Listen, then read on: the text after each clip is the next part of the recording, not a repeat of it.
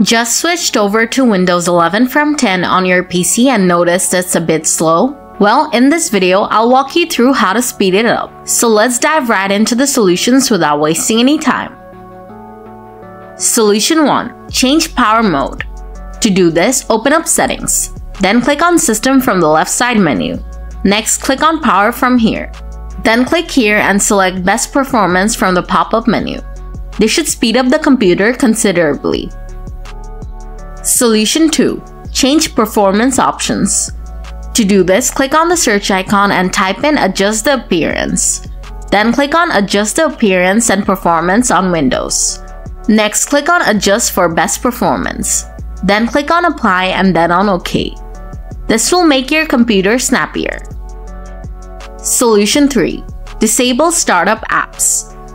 For this, right-click on the taskbar and select Task Manager. Then switch to the Startup Apps tab. From here, right-click on the apps you don't need to start at boot and select Disable from the Context menu. This should speed up your boot time. Solution 4. Uninstall unused apps. To do this, open up Settings. Then click on Apps from the left side menu. Next, click on Installed Apps. Now find the apps you don't use, and click on the three dot icon next to their name and select uninstall from the drop down menu.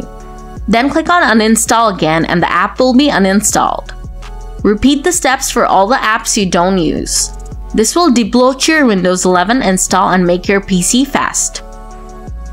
And that's it. That's how you speed up your Windows 11 desktop or laptop. If the video did the trick for you, please hit the like button. And if you're hungry for more Windows related tips and tricks, consider subscribing to the channel. As always, thanks for watching and I'll see you in the next one.